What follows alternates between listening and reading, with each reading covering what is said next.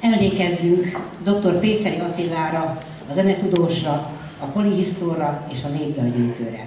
Tesszük ezt méltósággal és büszkeséggel, mert Péceli Attila a milyen kis vásárhelyéké is.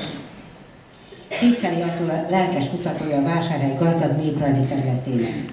Az egész magyar népzenei irodalomnak is kiváló szakértője, aki kötelességérzetből sokszor tájékoztatta a város közösségét, a népdal lényegéről, értékéről, nép szépségéről.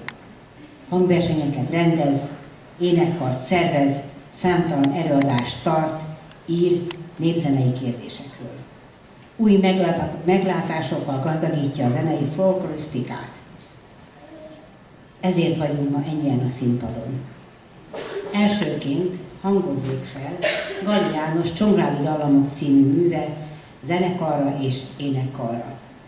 Közreműködnek a Podnezővásárhelyi Zenekar, a Liszt Ferenc Énezenei Általános Iskola kicsinyek kórusa, gyermekkara, a Betlen Gábor Gimnázium kórusa, az Aranykalász Népdalkör Győri Sára vezetésével, a Belvárosi Népdalkör Cékmándi Fejes Katalin vezetésével, és a Napra Forgó Népdalkör Berei Erzsébet vezetésével.